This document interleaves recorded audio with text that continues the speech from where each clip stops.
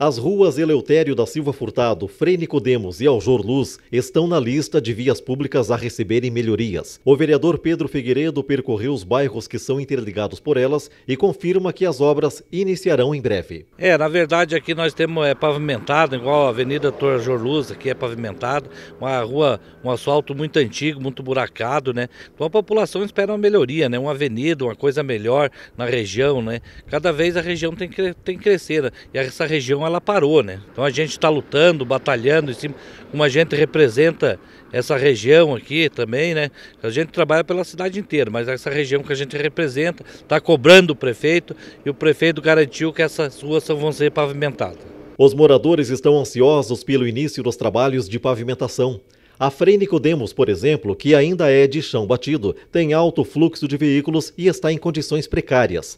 Além da melhoria da qualidade de vida das famílias, comércio e residências serão valorizados. Nos senti muito feliz. Vai valorizar muito a área aqui para nós. Inclusive, quando passa carro pesado, um rolo, dá, treme tudo a, minha, a estrutura da minha casa. E assim o asfalto vai ficar tudo mais controlado, tudo melhor, né? Principalmente aqui na, na, na frente Nicodemos, na frente da Igreja dos Pobres aqui, que é faz 22 anos que eu conheço o povo. Ah, acima da Igreja dos Pobres tem muita poeira. Tem, temos a empresa de ônibus aqui que é a Transul, que, tá, que passa ali por ali e é estrada de chão e é muito poeira. E agora, inclusive, abriu uma quadra de futebol e vem muito turista, muitas pessoas ali e a rua é de chão. Contribui por, para o crescimento do bairro e até para a cidade mesmo, né? Que é, uma, é um acesso que dá para Araucária, Santa Catarina, Santa Clara, Novo Milênio é um lugar aqui que a gente tem acesso em, em todos os bairros, então eu acho que é bem merecido aqui o asfalto para nós. Vai ser muito bom para nós, para os nossos comércios aqui do, do, do Santa Catarina e para os moradores, né? Que aqui é no, no, quase não temos rua pavimentada aqui no Santa Catarina.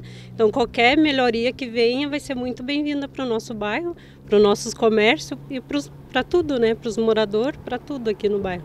O vereador Pedro Figueiredo assegura que outras ruas entrarão no cronograma de serviços da Prefeitura. Vai ser pavimentada a Frei Nicodemos, a, a Jorluz, a Manuel Coimbra, a José Maria de Freitas, que sai lá na Felício da Rosa Madruga. Então várias ruas vai ser pavimentada. Logo, logo, em torno de uns 30 dias começa a pavimentação aqui na região. É uma conquista para a população, crescimento dos comércios, dos empresários.